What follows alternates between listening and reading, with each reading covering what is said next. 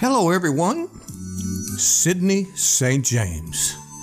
And today, on this special soundbite, concludes the episode 15 of season two. And it's about to be broadcast, but it's still a week away. Waiting on my guest to get here to do it. But when I did this broadcast, gosh, did it bring back some memories. I think you'll like it too, but it's not so much the memories of the broadcast, it's the fact that the memories is all we have left. The big question on this broadcast, and it goes for so many rural communities across America, is consolidation. What does consolidation do to a small town?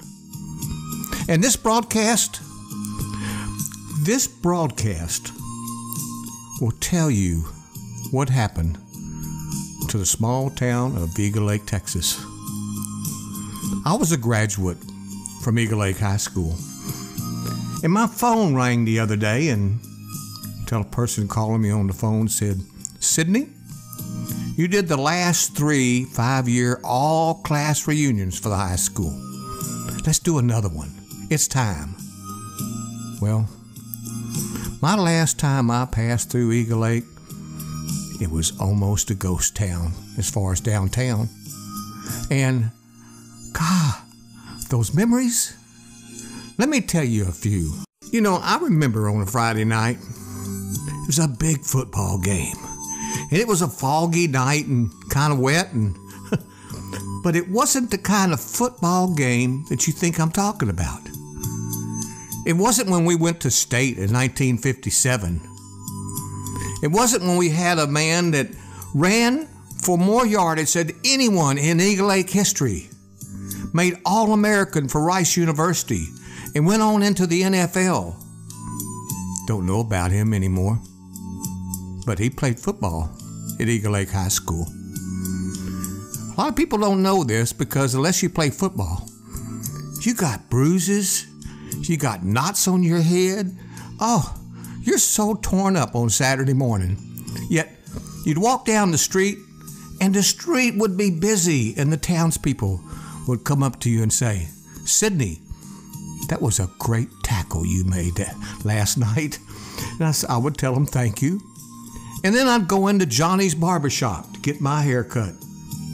Well, guess what? He had to move his little hair shears all around to miss all the bumps I got from, from that Friday night football game. And everybody in the barbershop and all the chairs were full. We're all talking about what a good team Eagle Lake High School has. Well, those are the kind of memories that all that's all we have to treasure now. Because what has happened across America is consolidation. And that, my friends, is what my story is about. So coming soon and be sure to tune in, be sure to tune in will be Eagle Lake High School.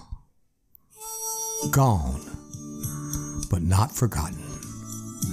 And I'll have a special guest appearance from Dave Henry, who will sing the Texas Trilogy, a song about rural Texas and how a small town high school gets consolidated and the town just almost disappears.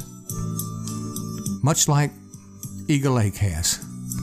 But I tell you what, it can disappear all day long. But our memories, we still treasure. So, thanks for tuning in for another soundbite on the Sidney St. James Show, and we'll see you around the corner.